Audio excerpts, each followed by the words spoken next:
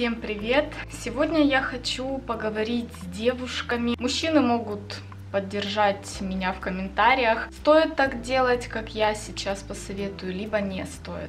Сегодня, девушки, я хочу поговорить с вами о свиданиях. Все, кто постарше, мы уже знаем, что это, как это. Все равно это волнение для нас, но мы уже подкованные такие. Но если меня смотрит сейчас на данный момент девушка, которая вообще не имеет представления, что это такое, как нужно себя вести, что говорить и все в таком духе, то продолжай смотреть. Я хочу тебе помочь, и поэтому три этапа, три шага, которые я сегодня озвучу и посоветую тебе, помогут тебе в дальнейшем понять, что нужно, как нужно делать и зачем. Зная, где будет проводиться свидание, легче ориентироваться в том, что надеть и обуть. Посмотрите обязательно на этот день погоду. Это вам очень поможет определиться, что опять же одеть и что с собой взять.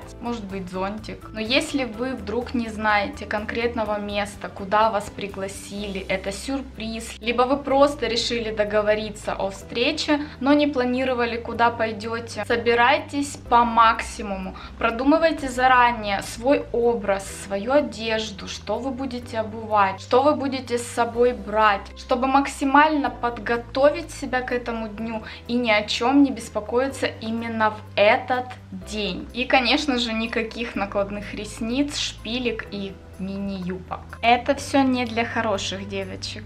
Ну а теперь подробно по шагам. Запомните главное, не нужно стремиться покорить своего избранника внешним видом, потому что в этом случае вы можете просто переборщить ну, либо у него вкус другой. Как я уже упоминала, подберите спокойный наряд, желательно платье, но в целом выбирайте именно ту одежду, в которой вам комфортно. Если это будет одежда, в которой вы будете чувствовать себя скованно, неуютно, некомфортно, то и свидание окажется таким же. На первое свидание и вообще на свидание рекомендую выбирать спокойный макияж, никаких ярких глаз, матовых матовых и сочных оттенков губ и уж тем более большое количество косметики на лице. Ну что о вас подумает молодой человек? Я за естественность и минимум косметики, поэтому я вам и советую краситься на это мероприятие минимально. Опять же, удобная обувь, желательно на невысоком каблуке. Или уж если вам просто вот ну, не в моготу вы хотите покорить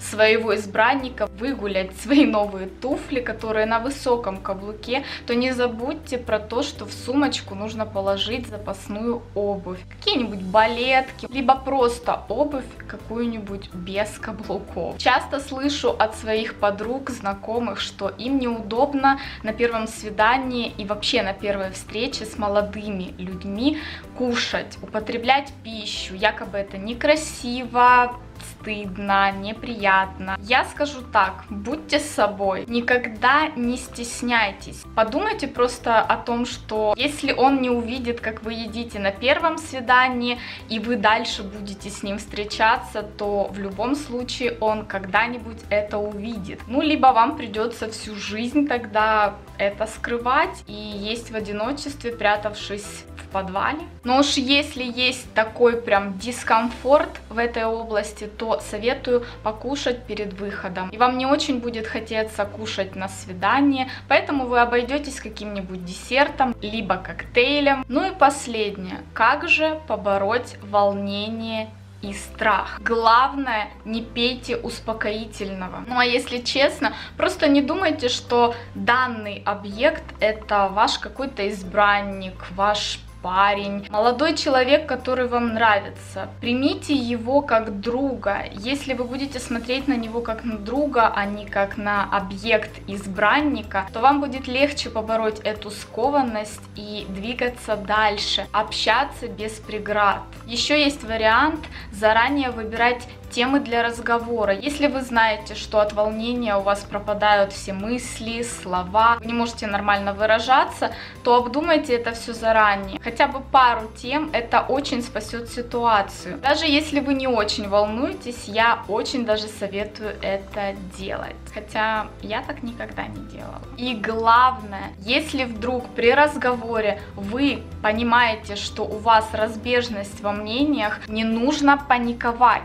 Такое бывает, и это нормально. Примите просто точку зрения и мнение молодого человека, либо вашего избранника, и будем надеяться, что он сделает то же самое в ваш адрес. Ну и я уверена, что после свидания вы вздохнете с облегчением и поймете, что ничего страшного здесь нет. А я вам желаю удачи на ваших первых свиданиях и не только на первых. Всем желаю любви, добра и терпения.